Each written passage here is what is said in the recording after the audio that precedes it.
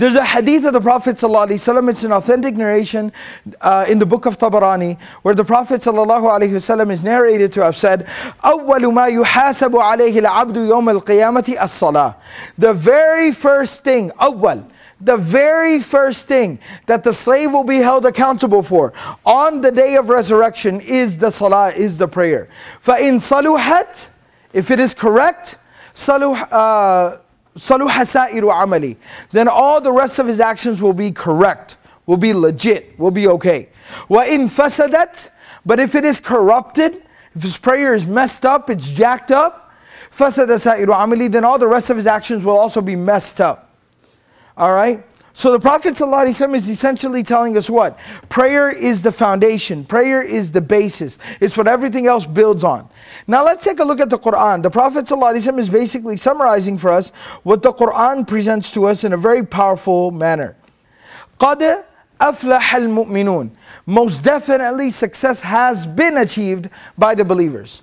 All right, what are their qualities? Who are these believers? Please define. الَّذِينَ هُمْ فِي صَلَاتِهِمْ khashi'un. They are those people that in their prayers, they have a lot of quality. They have khushu'. We're still calling khushu' quality. We're almost there. وَالَّذِينَ هُمْ عَنِ اللَّغْوِ مُعْرِضُونَ They are those people that they constantly avoid indulging into useless things. They don't waste their time. وَالَّذِينَ هُمْ لِلزَّكَاةِ فَاعِلُونَ They are those people who constantly are either giving charity or purifying themselves. They take the initiative in terms of purifying themselves. وَالَّذِينَ هُمْ لِفُرُوجِهِمْ حَافِظُونَ They are those people who constantly safeguard their chastity, their modesty, their decency. All right? إلا على أزواجهم أو ما ملكت أيمانهم فإنهم غير ملومين Of course, except in the case of their wives or what the right hand possesses, then in that case they're not to be blamed. Uh, فمن ابتغى وراء ذلك فأولئك هم العادون Whoever seeks anything beyond that is then obviously crossing the line. All right. والذين هم لأماناتهم وعهدهم راعون they are those people who constantly watch over, they are diligent and they're careful about the word that they've given, the promises they've made, and the trust that has been given to them. All right? وَالَّذِينَ هُمْ عَلَى صَلَوَاتِهِمْ يُحَافِظُونَ They are those people who constantly watch the timings of the prayers and mind the timings of the prayers. أُولَٰئِكَ هُمُ الْوَارِثُونَ Those are the people, they will inherit. What will they inherit? الَّذِينَ يَرِثُونَ الْفِرْدَوْسِ they will inherit the gardens of paradise, the highest stages of paradise, Al Firdaus. Hum fiya khalidun. They'll be therein for all of eternity. Very beautiful, powerful passage. Now, the question I want to ask you guys is Does it, I mean, do these people sound like some, like a great group of people? Do they have great qualities? And do things work out for them at the very end? Obviously, yes, they do. All right? Sequence is very important in, in Quran in a, in, a, in a passage like this sequence is very important. They have a lot of good qualities and things work out for them in the end. But where does everything start? What's the very first quality Allah mentions for them? Salah. Salah. They have quality in their prayer. When they have quality in their prayer, everything built on top of that. Everything was built on top of that and everything worked out. On the flip side, take a look at the next passage here. Surah number 74, Surah Al-Muddathir. All right? This is one of those passages where it tells us it's a little bit of a more subtle conversation between the people of Jannah, the people of paradise, and the people of hell. All right? Kullu nafsin bima kasabat rahina. Each and every single soul is being held as a deposit in exchange for what it's done. Illa ashab al yamin. Except for the people of the right hand side. In Arabic, that's an expression that means the good people. Fi jannat. Where are these awesome people? They're in paradise. They're in the gardens of paradise. يَتَسَاءَلُونَ While they're chilling in Jannah, they start having a conversation. Start having a discussion. What are they talking about? What are they having a conversation about? Anil mujrimin. Mujrim in the Arabic language, in classical Arabic, means a convicted criminal. Somebody who's been tried, somebody who's been, you know, convicted of their crime, and somebody who's been sentenced. Convicted, sentenced criminal. So they start talking about these criminals, and of course they're talking about the people in hell. Right? So Allah now allows them to fulfill their curiosities about the people of hell by talking to the people of hell.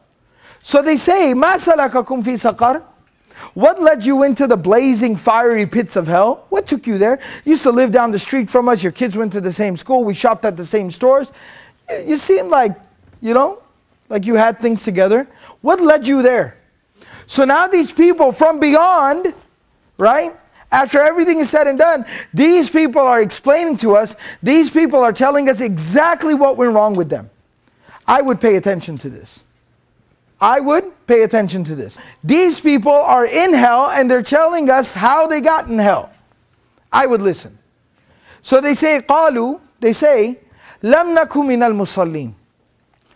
We were not from those people who pray regularly. Now there's a, that's a very interesting construction. It doesn't say "lamnaku nusalli. It doesn't say we didn't used to pray. No, no.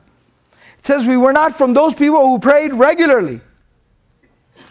Meaning, Fajr today, not so much tomorrow, maybe Dhuhr, see about Asr, got some Maghrib, went to sleep before Isha, right?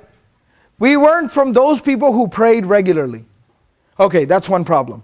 Now, what happens when you become lackadaisical in your prayer and your salah? You start to crumble, you start to fall apart spiritually. Now, cracks start to appear in other parts of your life. Now, you have less motivation to do the good that you do, all the other types of good that you do.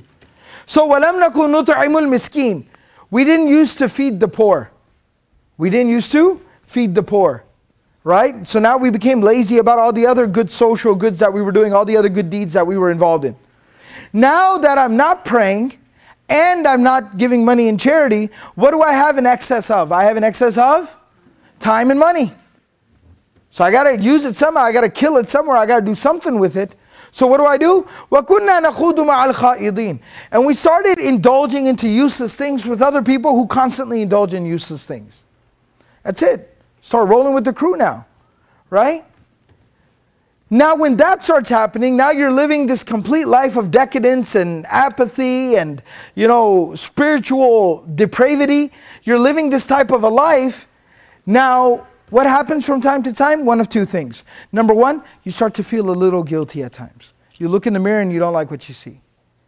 And you know what that is? That oftentimes that little feeling of, man, what am I doing with myself? What am I doing with my life? You know what that is? That's your iman clawing and scratching at the surface. Your iman has been buried alive, but it's gasping, it's breathing for air, and it's trying to claw back out. It's trying to claw back out. The second thing that happens in those situations is if you're really lucky, if you're blessed by Allah, somebody comes along in your life and says, Brother, sister, come on, why don't we go to the masjid? Like, come on, let's go to class. Like, what are you doing? Somebody comes along and just tries to give you a little boost, helps you out a little bit, is there to support you spiritually. So, but what ends up happening oftentimes in those types of situations, people start to become defensive. People become defensive. No, I'm not a bad person. Or I'm not doing anything bad.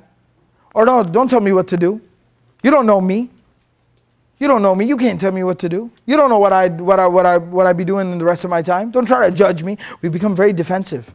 And when we become defensive, we become very offensive to ourselves, to other people, and even to Allah.